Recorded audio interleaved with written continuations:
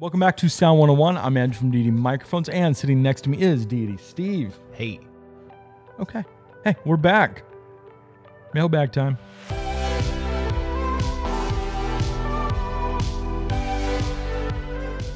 Well, because this is a mailbag, what that means is we are going to be answering your questions that we grab from that comment section down below. The very first person to get their question answered in these types of episodes is the winner of a V.Lav, uh, which is our little lavalier meant for the live streaming content creator market. It's a very popular little thing. And it's a pretty nice little gift to get. very useful right now. Yeah, it's very useful. So, Steve, what is the first question we've got up today? All right, first one's for you, Andrew. You ready? Shoot it to me.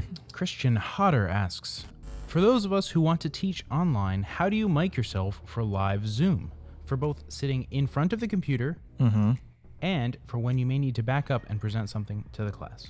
Okay, super easy. And actually, Christian, you're going to be able to do this because you want a V.Lav. The answer is a V.Lav. What? So no, uh, in all honesty, it is it is a V.Lav because let's say you're teaching, right? You got a whiteboard behind you. You want to draw. It's got five meters of cable so that you can get up out of your chair, go back there, draw a little bit, come back, sit down while you're teaching without having to take your microphone off. And the whole time doesn't matter the distance from your camera. The distance from here to here is always the same. That's why we really like lavaliers for this kind of purpose. Uh, what you and I are doing, we are stationary. We are in a locked position. I'm not going to be moving around. So a nice boom arm with a nice microphone works really well. Now, why the V.Lav? Why not a wireless solution? I'm assuming because you are a Zoom user, that means you're doing something pretty casual and you don't want to spend a lot of money, right? You're on a budget. This is something that you may be doing for fun. Maybe just that you want to do something for education purposes. Problem is, a lot of cheap wireless may not have good range or reliability. And if you're trying to teach someone and it's crackling on you, I mean, you're not getting your message across. Whereas a hardwire lavalier, I mean, is just always going to work every single time you plug it in. And if you don't have like a return on investment here, I can't recommend something expensive for something like this. It's just not in my heart. I got to be practical about the situation, and a V.Lav is the best solution. Unless it's like a fitness class and you're doing jumping jacks. Yeah, and then the V.Lav is a bad solution. But talking about bad solutions, so I've got a question for you, and the segue. That's a great segue. That's the bad solution. Is the segue. So uh, this is from Clement, and that is, what is some must-know terminology? Okay. The audio world is rife with terminology that is uh, not Wacky. Yeah. yeah, a little wonky, not not everyday usage. So some things that I think you should definitely look into are microphone pickup patterns. Mm-hmm. Those are often just long words. You're scared of long words, I hate long words. and they're good to know. Uh, supercardioid, hypercardioid. There's a lot of delineations between them, and when you're shopping for a microphone and trying to recommend one, or just understanding how the whole thing works, sound science in general, it's very useful to know what all those mean and look like. So that everyone's on the same page. Exactly. I would also say that in post, there's a lot of terms that are seemingly interchangeable, but not at all. Like they sound similar, like low pass and low cut. um, which are exact opposites. Exact opposites. So I think it's really good to have a very solid understanding of EQ terms, how all of that works, and and what the practical application of each one of these words is. hmm Now, what about some words in terms of like describing audio quality? That's a great point uh, because often it is hard to describe what things sound like in a mutual language that we both understand. So there are a lot of these words that we'll use boxy, boomy, hissy, Muddy. muddy. Yeah, there are words that kind of are, are accepted as the uh, the preferred nomenclature for what these things sound like, and they're totally useful. It's crazy how much time that can save you, especially in your post production workflow. That's actually a pretty good answer. I think that's it. I'm gonna move on to the next one. You ready? This is from Verdant Visuals. I want to know where is the funniest or strangest place you have ever hidden or concealed a mic on set? Well, I've used this example before in the past when someone asked me whether or not I've ever put a lavalier on a live animal. And that would be a dog. I put it on a dog's collar for a short film called Burbank. So the short film did not have a budget for Foley. Uh, they just could not do it. So it had to be recorded live. We've actually done a video up here again in those cards. We're going to reference them. She had all those nice little gloves and everything that allowed you to really recreate exactly what a dog's nails sound like on hardwood. But this short film could not afford those kinds of, you know, post production kind of shoots and all that kind of stuff. They were like, if we got to capture it live, it's got to be live. Otherwise, we're going to throw music over it. So I was like, cool, I'll put a lavalier right on the dog's collar. We'll tape up all the little trinkets and we put a body pack transmitter on the other side and let the dog just run around and have fun. We couldn't record it with a boom, which is why we had to use a lav because the dog was very, very afraid of my boom pole and the dead cat on it because it's fur, it's big, it's arching over it. It just was not having it. So we're like, cool, kill the boom, throw a lavalier, call it a day.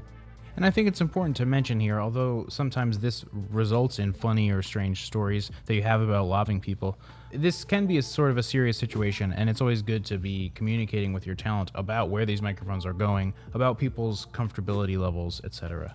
Absolutely. People need to know where microphones are on a set because they don't want to say something that could be maybe not so favorable to people that are listening if you know what I'm talking about. A hot mic is a bad mic. So it's good to tell people on set where all the hidden mics are. And that's actually kind of a good thing because at the end of the day, it's just, it's a nice courtesy. I got one for you though. Hit me. So this one is a little bit more complicated. And I think it's going to require thinking hat. So here it is. It's from Tanner. And that is, should room tone be recorded in stereo or mono? Or is it a mix of both? With mono room tone recorded on the boom mic to fill in the gaps between the dialogue mix with a stereo room tone for ambience or a sense of space. I think Tanner nailed it there with the uh, kind of answering your own question, but I think it would end up being probably a mix of both. Traditionally, yeah. when you're recording room tone, you're going to end up doing it in mono because it's hard enough to get the chunk of time that you need in your filmmaking day to record room tone in the first place, everyone's already going to give you a hard time for it. And if you have to then like fiddle with your settings, put your recorder in stereo or change over to a stereo track, it's way too much added time. Damn it, Fred! Now I get my tone. Everybody quiet on the set. You want to stop? Quiet on the set. Let's get it. And you're going to be using this recording to fill in the blanks basically left by a mono track because you're recording all of your dialogue in mono. Right. It would be weird if like all of a sudden if the gap had a stereo image to it where like the air conditioner is on the left right. and not on the right. But when we cut back to dialogue and it's just this mono track again, right? Right. And then the idea here of when would you be recording some sort of a stereo room tone? Maybe it's not room tone because, as we've said, usually there's not much purpose to have stereo room tone. Yeah. Um, it's not a, a, dynamic environment with things that are moving around, and you would benefit from a stereo space. So it would pretty much be mono. But if you wanted to, if you had like a, you're doing a wild sound day or something, certainly you could play around with some things. Uh, we've talked about all sorts of interesting miking techniques, sort of an XY situation. Absolutely. You could do some ambisonics if you really want to like create some space of a room. And a lot of that I think is going to get added in post when you do sound design. Like let's say you have it in a restaurant and you have dialogue at a table. You may have extras in the background, but they're not going to be doing anything during the room tone take. So like there's no active sound being created that is purpose driven during a room tone take. Whereas you may have them do like some kind of a soundscape track afterwards, where it's just people shuffling around that you record that they can then add in over that dialogue and dial in the volume of like the claustrophobia of this diner restaurant kind of situation. And that might be in stereo. But like the actual dialogue and room tone, oh, all mono. Yeah, so to flash back to the earlier question about terminology, I think that's something that's uh, worth differentiating the difference between room tone and ambience. Because someone might use yep. them interchangeably, but in terms of practicality and onset experience, you are going to approach them differently. They're very different things, and when you know that, you record them differently. So you're right, it's a callback to terminology where everyone's on the same page. It's almost like we plan these things out. Sometimes it just works. Yeah, sometimes. Well, that actually does wrap it up. That is our last question for this episode. If you've got questions, though, drop them down in that comment section below. We dive down into there all the time to grab these kinds of questions for these types of episodes. If you like this kind of content and you want to see more of it, hit that subscribe button. And if you want to know when these videos drop every single week, you got to hit that bell for notifications. Go find us on all the social media platforms at Deity Microphones. We're on Twitter, we're on Instagram, we're on Facebook, we're on all of them. We're no longer on TikTok because we're dead with that. Done with TikTok.